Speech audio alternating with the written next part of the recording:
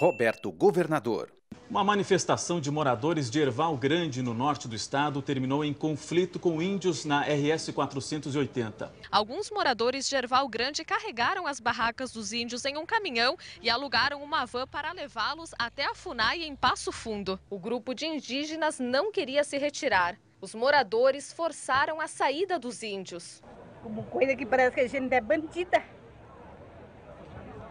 A nossa equipe foi impedida de fazer imagens e o cinegrafista foi agredido. É assim, então tu segura ela baixada, tá, tá aqui, tá aqui é pro bem nosso e pro teu também. Tá Mas o contrário, se tu erguer o pau fecha. Índios foram agredidos no norte gaúcho. Latifundiários incentivaram e policiais nada fizeram. Num conflito entre desiguais, quando o Estado se omite, favorece o opressor. São 500 anos de massacre não aceitamos a continuidade do desrespeito aos nossos índios. Roberto Robaina, governador, 50.